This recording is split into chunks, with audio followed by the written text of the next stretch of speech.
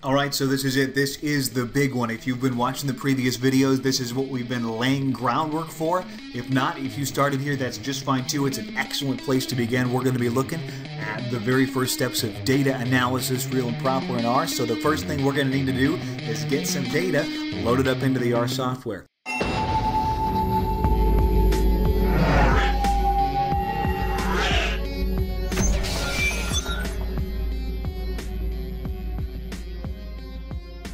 Now, the easiest way, of course, or the simplest way to get data in would be to type it by hand, uh, but that is massively inconvenient when you have large data sets, especially if they already exist in other formats. And so we read things in with R. There's a variety of read commands. Some of them are built in automatically, others you have to go get. One of the most rudimentary, easiest to use is going to be read.csv, which we can see here we've got a variable std data, and we're going to assign it the value that is returned by the function read.csv, and we pass that read.csv function the argument chlamydia underscore 2011.csv.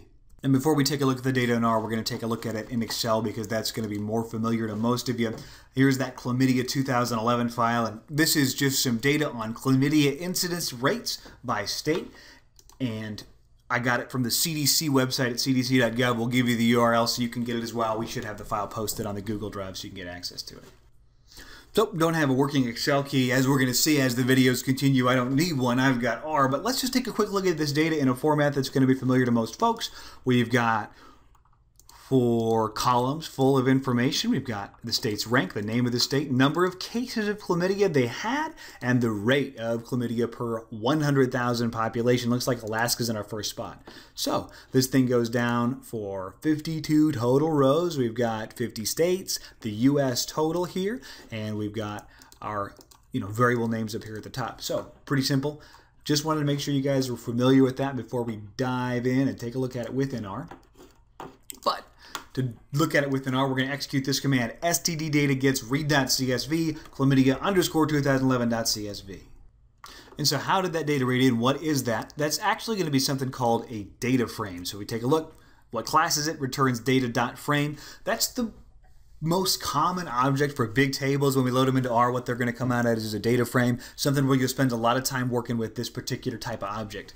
So let's look at the first few rows. To look at the first few rows, to get a picture of what's in here, uh, we can use the head command. Head will show you the first several entries in an object. So we run that head command, we can see we have the first six rows, and we have a column for each, so we can see that in order, the states with the highest incidence rates of chlamydia are Alaska, Mississippi, Louisiana, South Carolina, Alabama, and North Carolina. A lot of folks in the South, and then Alaska all out there by itself. So interesting stuff there.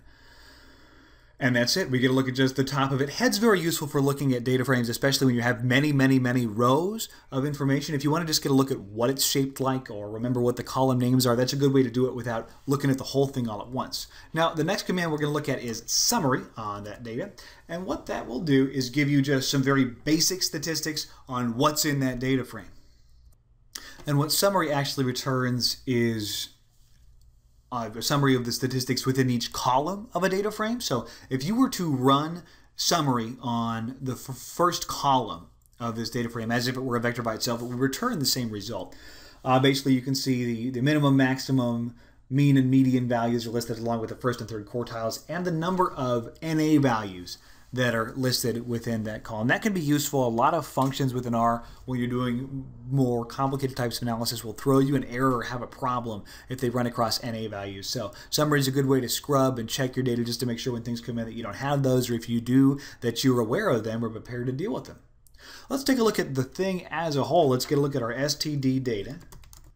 All right, that'll see that'll print more than my console has room for. That'll be the case for most consoles. I can scroll up and down. You should be able to with whatever you're working on as well. And you can see all of the data set at once. Now this is a relatively small table. It's only got those 52 rows we looked at, so it's easy to examine by eye. You're going to want to learn to subset to look at smaller parts of tables, especially when you have larger sets of data coming in. But that's a very brief look at how you get data into R, and oftentimes that's going to be half the battle. This is a pretty sanitized example I gave you here. Didn't throw a lot of problems. As we go through these videos, we'll introduce more complicated cases for data sources and how to get them within there to evaluate.